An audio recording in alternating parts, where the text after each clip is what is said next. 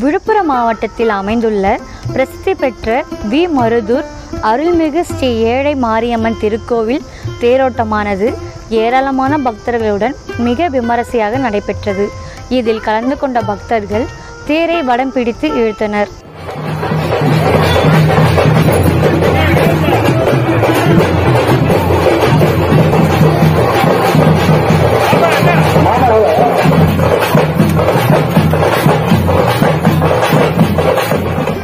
விழுப்புரம் மாவட்டம் வி மருது கிராமத்தில் பிரசித்தி பெற்ற அருள்மிகு ஏழை மாரியம்மன் கோவில் அமைந்துள்ளது.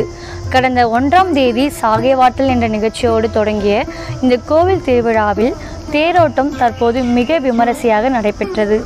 மேலும் ஆடி மாதம் கடைசி வெள்ளிக்கிழமை என்பதால் ஏராளமான பக்தர்கள் அம்மனை தரிசனம் செய்து தேரை வடம் பிடித்து இழுத்தனர்.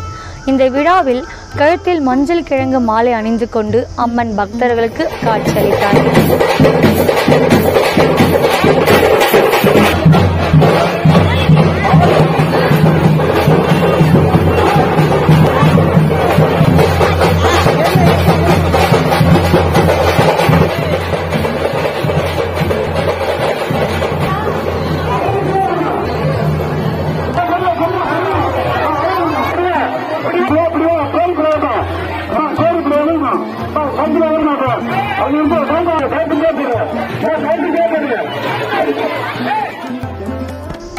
இந்த தேரோட்டத்தில் விழுப்புரம் மட்டுமின்றி சுற்றுவட்டார பகுதிகளைச் சேர்ந்த பொதுமக்கள் கலந்து கொண்டனர்.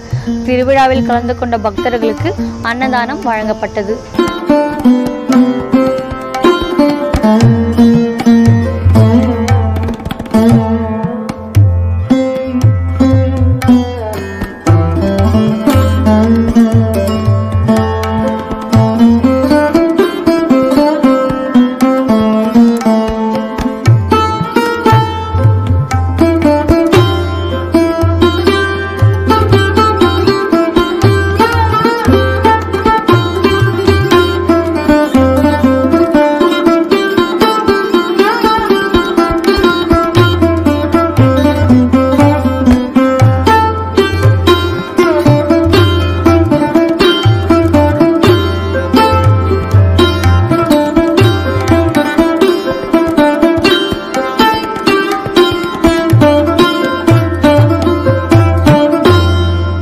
நியூஸ் எயிட்டின் உள்ளூர் செய்திகளுக்காக விழுப்புரத்திலிருந்து செய்தியாளர் பூஜா.